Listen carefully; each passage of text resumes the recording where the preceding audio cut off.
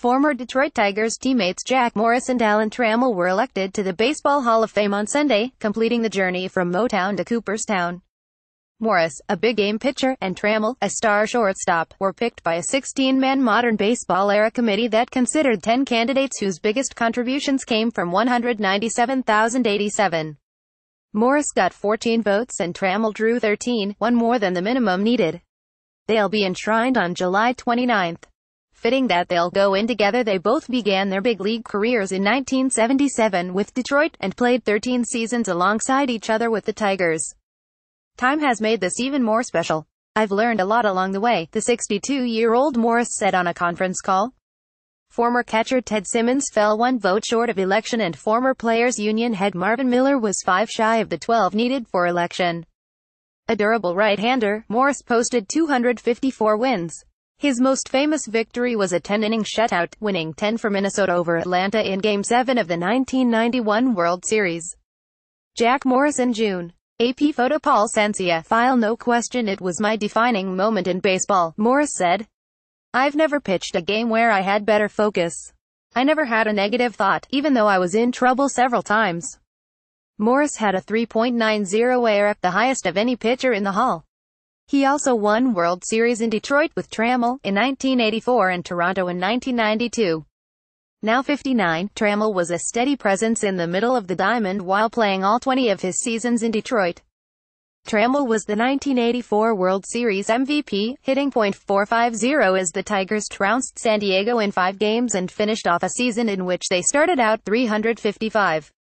A six-time All-Star and four-time Gold Glover, Trammell scored 1,231 runs and drove in 1,003. He batted .285 with 185 home runs and a .352 on-base average. He walked 850 times and struck out 874. Trammell never came close to election during his 15 tries on the Hall ballot and voting by Baseball Writers Association of America members. His best showing came in his last year, when he got 40.9% in 2016. Morris got a lot closer. Starting at 22% in his first Hall ballot appearance in 2000, Morris peaked at 67.7% in 2003, falling 42 short.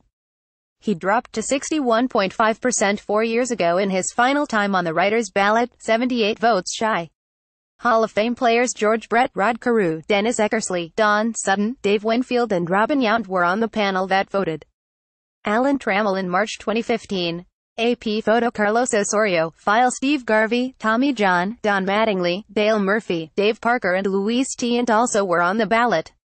Miller, who headed the Players Union from 196,682 was on the ballot for the seventh time. Miller drew 44% in 2003 and 63% in 2007 when all Hall of Famers could vote on the Veterans panel. After the Hall downsized the committee, he got 3 of 12 votes in 2007, 7 of 12 in 2009 and 11 of 16 in 2010, one fewer than the necessary 75%. Four years ago, he was at least six votes shy. In 2008, four years before he died, Miller sent a letter to the BBWAA saying he didn't want to be considered anymore. The BBWAA annual vote on players will be announced Jan. 24 Chipper Jones, Jim Thome and Omar Vizquel are among 19 first-time candidates, and Trevor Hoffman, Vladimir Guerrero, Edgar Martinez, Roger Clemens or Barry Bonds among the holdovers.